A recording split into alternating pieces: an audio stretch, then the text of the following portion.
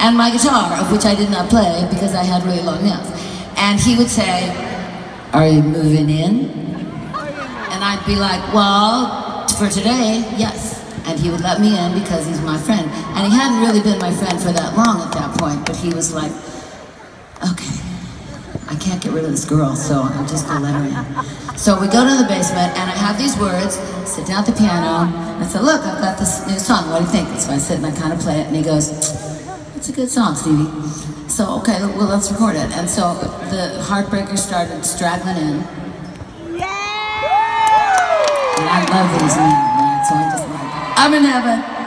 So they come in and they like it, and then I'm even more happy.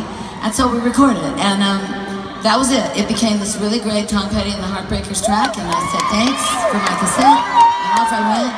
And it went into my valued, like, you know, trunk of stuff that was not going to be used for a long time. And there it slept all this time. And so I'm going to do it for you. It's on 24 karat gold, and it was played by those. A lot of these songs were played by your people, the Nashville Cats. Nashville Cats.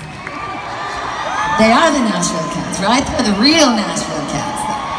So, okay, anyway, it's called Starshine.